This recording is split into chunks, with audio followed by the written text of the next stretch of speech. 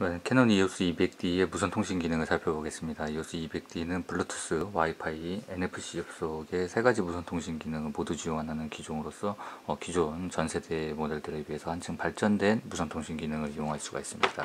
일단 핸드폰에서는 캐논 Camera Connect라는 어플리케이션을 미리 받아놓은 상태가 되겠는데요.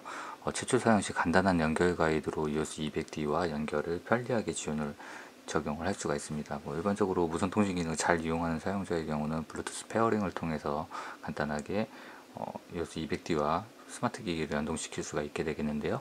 일단 카메라의 이미지를 한번 먼저 저는 살펴보도록 하겠습니다. 기본적으로 날짜별로 정렬이 되어 있는 그런 모습을 보여주, 보여주고 있고요.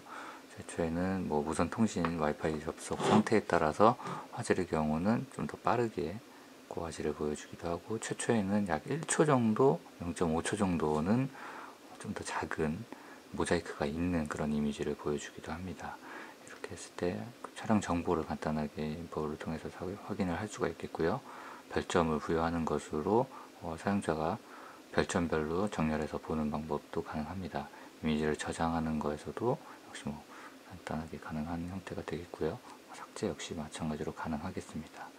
전체적으로 전체적인 촬영 정보를 썸네일 상태에서 정렬해서 볼 수도 있겠고요. 업로드 또는 다운로드를 날짜별로 승인시켜서 순서를 다시 정렬시킬 수도 있는 기종이 되겠습니다. 날짜 범위나 파일 유형을 통해서 정렬 기준을 편리하게 변경을 할 수 있다는 것도 특징이 되겠고요. 이렇게 필요한 이미지들을 선택을 해서 다운로드를 선택적으로 이용을 할 수도 있겠습니다. 이렇게 뭐 일반적인 이미지, 카메라 스마트 EOS 200D에 적용이 된 이미지를 다운로드 받거나 정렬하는 데 편리한 기능을 이용할 수가 있겠고요. 원격 촬영 역시 가능합니다. 원격 촬영도 뭐 촬영을 당연히 기본적으로 지원을 하겠고요. 조리개라든가 관련한 기능들을 설정해서 변경 반영할 수 있는 그런 특징들도 잘 갖추고 있습니다.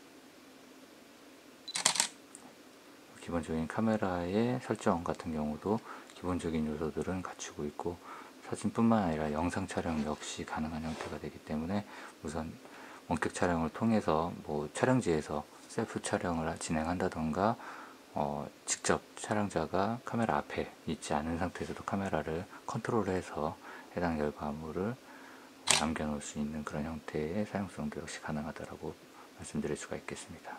기본적인 카메라 설정 기능은 최선의 형태로 지원을 하고 있고요. GPS 위치 로그를 스마트 기기의 것을 EOS 200D의 촬영 결과물에 연동을 시켜서 쓸 수가 있는 그런 요소들도 잘 갖추고 있습니다. 지금 현재는 캐논 Camera Connect 상태에서의 촬영이었기 때문에 원격 라이브 촬영이라든가 카메라 이미지 와 같은 기능을 보여드렸습니다만 지금 바로 연결해서 보여드리기는 약간 불편함이 있어서 생략하는데 일단은 블루투스 기능을 통해서 어, 스마트 기기를 리모컨, 리모컨처럼 편리하게 사용을 할 수가 있는 요소들도 잘 갖추고 있다는 점에서 EOS 200D는 앞서 출시되었던 EOS 800D나 오디마크 4와 같은 기종과 마찬가지로 블루투스를 통해서 상시 지속 연결 능력을 기본적으로 갖추고 있고 와이파이를 통해서 우선 연결을 데이터를 전송시키는 그런 기능, 기능 기종으로서 뭐 일반적인 무선 통신 기능을 충분히 잘 마련하고 있는 기종이라고 말씀을 드릴 수가 있겠습니다.